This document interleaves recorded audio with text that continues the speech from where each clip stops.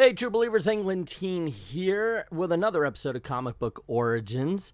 And this is where we take a look at any first appearance of any uh, superhero, villain, or team. Sandra Cain. And man, this girl just doesn't know who she is. Seriously, she started off, by the way, in 1999. Can you believe it's been 20 years? Created by Kelly Puckett and Damion Scott and uh, that's where we see Cassandra Cain. But that's when she becomes Batgirl a little bit later, and then she becomes a villain called Kasumi. She's Black Bat in Batman Incorporated, and then finally in Batman and Robin Eternal number twenty six, she became Orphan, which is, she's known as now. It really did sound like DC Comics had no idea what to do with her, but you know what? We're not worried about that. We're just going to check out the very first appearance of Cassandra Cain, Batman number 567. I know you're going to dig this.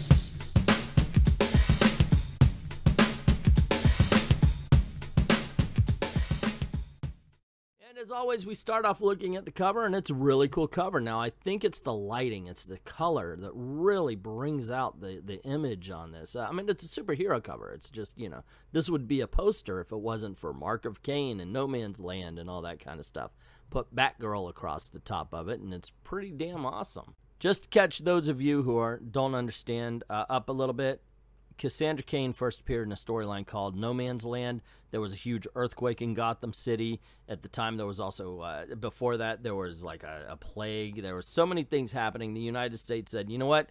Gotham's a lost cause. It's a no man's land. Nobody's allowed in. Nobody's allowed out. Of course, some people got trapped in, including some of the heroes and villains, and that's where we're starting off from. On the splash page, we see Batman come across some bodies tied to a wall. We then cut to a cemetery. Batman's planning a cross, and Batgirl's watching on in secret. She reaches out as if she wants to say something. But as she sees Batman fall to his knees mourning the people who had died, she figures differently. She walks away and she hears, I trusted you! But she turns around and nobody's there, just an empty cemetery. And we cut to Watchtower where Barbara Gordon is sitting and talking. Somebody on the radio says, Relax, she's the best courier you have. She'll make it. And Barbara says, Stupid to use her at all. Didn't know I was sending her into a war zone. Should have been here by. And she turns around. There's Cassandra Cain, ladies and gentlemen. The very first appearance of her, anyway. She was Batgirl in the scene before. How did you. Where. An apple for teacher, huh? Sit down. And this is where we find out that Cassandra can't read or speak as Barbara's holding up a sign that says stop, and she's like, stop. But then Commissioner Gordon comes in saying, Barbara, I need you. And she dis- dismisses Cassandra, and as she's walking out, Cassandra sees Barbara Gordon touching Commissioner Gordon's face, kind of realizing the, the relationship between the two. And I guess, I don't know if this is bad editing or not, because it seems like this takes a little bit, like nothing you would like, quick cut to, but it shows Cassandra Cain kind of walking the neighborhood. She notices a guy and follows him as he enters this abandoned building. Getting suspicious when she sees a window that's shaded. Of course, everything's broken there.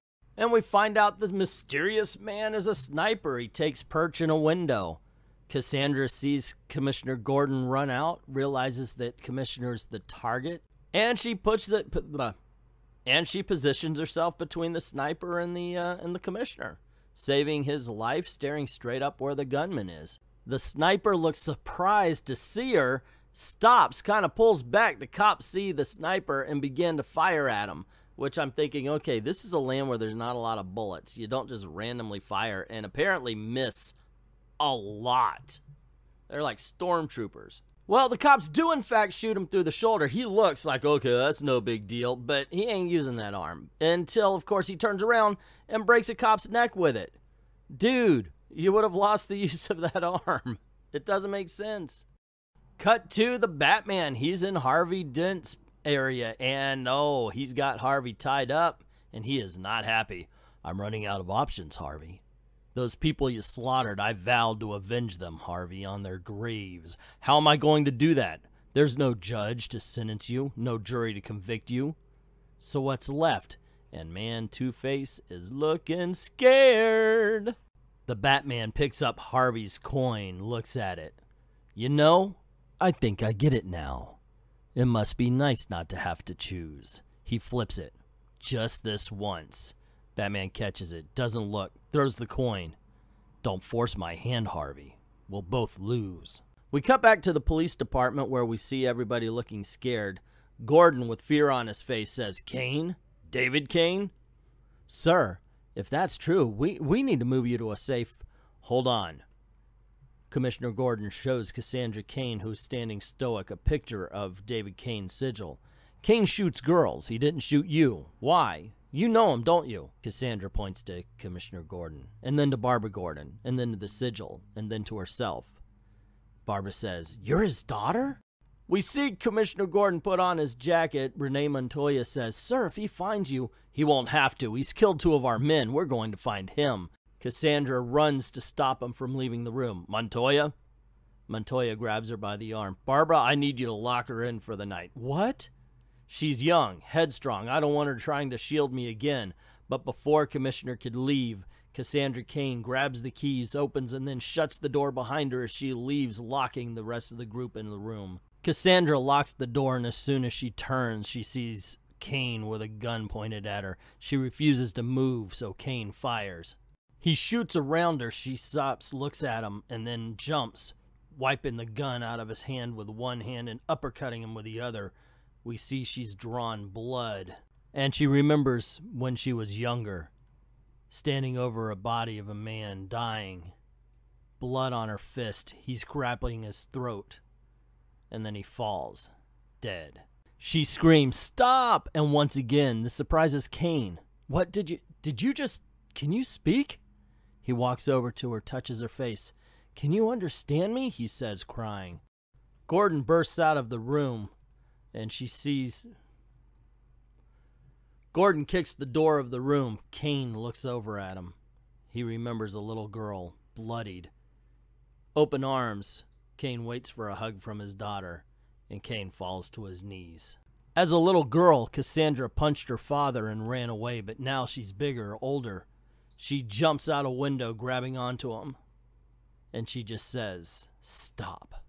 There you go, guys. That is the very first appearance of Cassandra Cain, Batgirl, Black Bat, Kasumi, and now the Orphan. And you know what? I realized that story was pretty good, but it probably would have been more powerful had she just died, like her and Cain falls onto uh onto the ground and both of them just lay there dead. That would have been more poetic, in my opinion. But still, as it stands, not a bad first appearance. What did you guys think? Let me know in the comments below. Don't forget to click like, share, subscribe, ring that notification bell if you haven't done it already. Making sure your notifications are on all for Google and YouTube.